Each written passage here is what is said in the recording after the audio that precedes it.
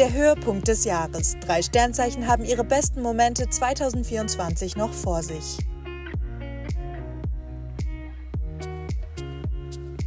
Für Wagen ist ab jetzt alles im Flow. Sie erleben in den kommenden Wochen einen Durchbruch.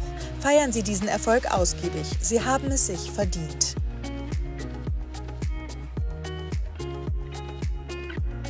Wassermänner erleben ein besonders friedliches Ende des Jahres. Ihnen fliegt in dieser Phase alles zu, sodass Sie sich auf Ihr privates Glück konzentrieren können.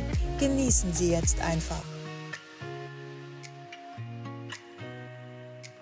Steinböcke erleben zum Ende des Jahres einen romantischen Höhepunkt. Seien Sie bereit für Herzklopfen. Liebesplanet Venus beschert Ihnen pures Glück.